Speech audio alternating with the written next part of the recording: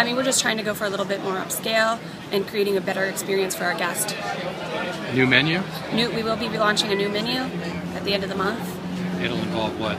Will involve um, just a little bit more diversity in the food, a little lighter options, and then also the traditional stuff that we always have: chicken and waffles.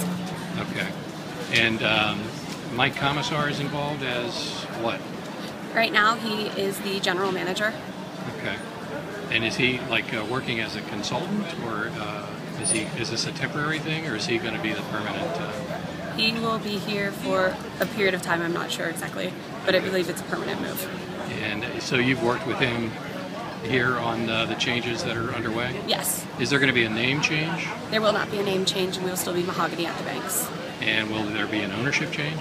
There will not be an ownership change. And uh, the southern, you, you, mentioned the southern cuisine. What, what's what's the gist of? Uh, I mean, why change the menu?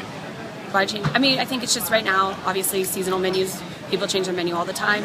We're just trying to uh, add more options besides fried food or some of the other stuff that we have. We want to have lighter options, more healthy options on our menu too.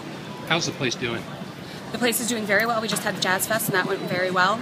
So we're having a good summer. Yeah.